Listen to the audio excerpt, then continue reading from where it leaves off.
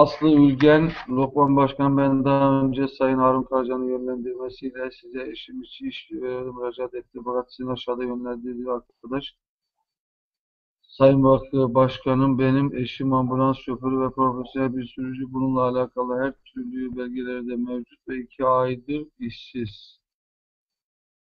Bunu Ahmet Öcalan mutlaka eee bizzat ilgilensin. Özel kalem müdürümüz. Acil.